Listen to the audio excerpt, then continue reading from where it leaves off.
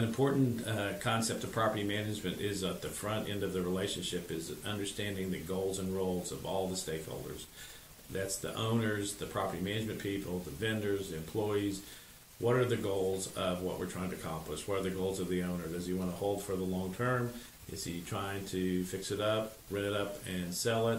Uh, what are those long term goals? And then what are the roles of each stakeholder to achieve those goals? And very well defined as to what those goals are, and then train the people as to how you achieve those goals and what roles they play. And there's no hidden agendas. Everybody's on the same page.